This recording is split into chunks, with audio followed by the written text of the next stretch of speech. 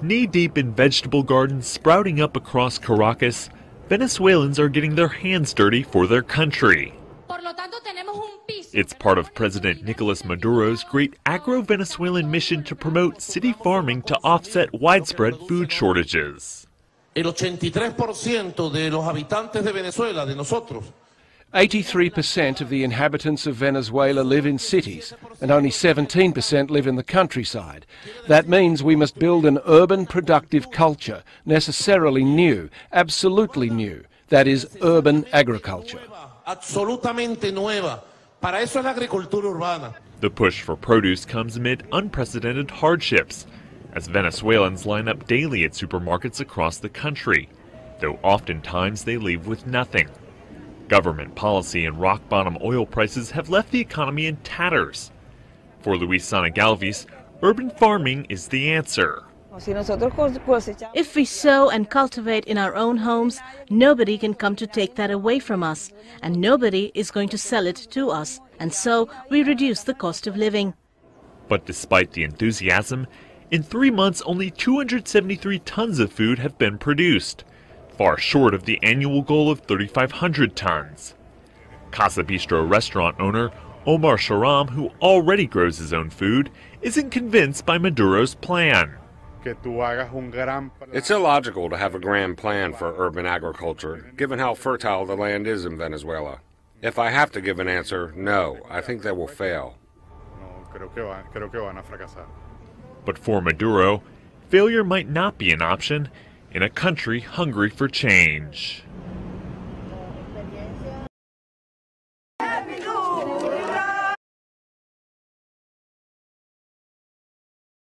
Caracas, Venezuela. Some Venezuelan city dwellers are trying to grow their own produce to offset the country's severe shortages following socialist President Nicolas Maduro's calls for food sovereignty.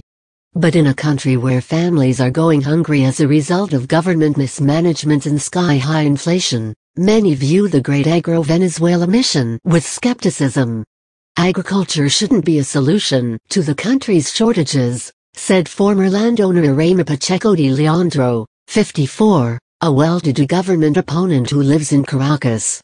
Critics have taken to social media to accuse the government of downplaying the country's critical situation, and ridicule Maduro for trying to solve Venezuela's dire food crisis through getting urbanites to farm small plots of land. Venezuela stops Post journalist, other correspondents from entering country. Urban farming in Venezuela. Thanks to at Nicolas Maduro, read one tweet accompanied by a photograph of a man and a dog sifting through trash, a common sight in Caracas as food supplies dwindle and black market prices soar. View image on Twitter View image on Twitter Follow Michael Welling at Welling Michael pound sign Thesis Venezuela Urban farming in pound sign Venezuela. Thanks to at Nicolas Maduro. Image via at Ovario 9.43 p.m., the 15th of July 2016, 12, 12 retweets 5, 5 likes. BBC Venezuela report as Chavistas explaining how they're going to feed people, grow medicine, through urban farming. No, Really? mocked another Twitter user. When the project was presented in February, the newly created Ministry of Urban Agriculture announced that 12,000 square kilometers, about 4,600 square miles, would be planted in the first 100 days. The government promised to invest $300,000 in seeds, equipment and educational projects, and to help with logistics. Amid economic hard times, Venezuelans turn to city farming play video 1, 53 facing a national food crisis. Venezuela's pumpkin-growing socialist president is exhorting compatriots to grow fruit and vegetables on balconies and roofs and in barracks across the country.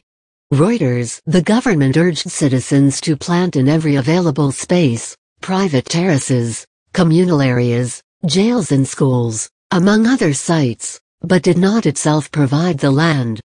Eight months into the project, only 21 square kilometers, about 8 square miles, of land have been cultivated, according to the ministry.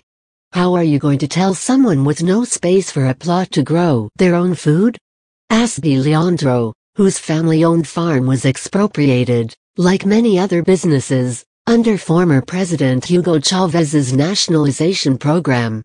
Some Venezuelans try to look on the bright side of the experiment. Producing their own food can reduce the time spent on the streets of Caracas, where crime is skyrocketing.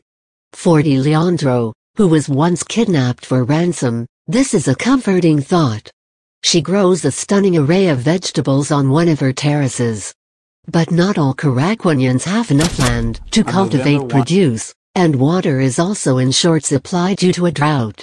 Barbara D'Ambroso, 24, whose vegetable plot overlooks the sprawling city, has learned to carefully measure her water usage. They cut our water supply from Saturday afternoon until Wednesday, she said, alluding to government measures in response to the nationwide shortage. Below D'Ambroso's hilltop home, one can see cramped apartments, part of Chavez's housing mission, introduced by the late president to provide rent-free accommodation to the poorest families. Hardly an ideal setting for a lush little plot of land. But limited land is not a restriction, says the Ministry of Urban Agriculture, suggesting that citizens can produce 20 kilos, nearly 45 pounds, of fruits and vegetables with just one meter of land. In a slum in West Caracas, 69-year-old Chavez supporter Luis Galvez and 17 other people cultivate vegetables on shared land. We're doing this to combat the economic warfare so that they can't have us on our knees again, said Galvez, echoing the government's argument that the deep recession is the fault of opposition business leaders and the United States. Economists attribute the shortages to other factors, such as price controls and overregulation. In the past, sales of oil, Venezuela's top export, brought in plenty of dollars that could be used to buy produce abroad. But the price of oil has dropped sharply in the past two years. The decline in Venezuela's agricultural output has been accelerated by government expropriations of land under its socialist leaders. Much of the country's fertile agricultural land is underused, experts say. Read more. In a hungry Venezuela, Buying too much food can get you arrested. Venezuela's politics are a mess. And now there's a birther movement. Venezuelans are storming supermarkets and attacking trucks as food supplies dwindle.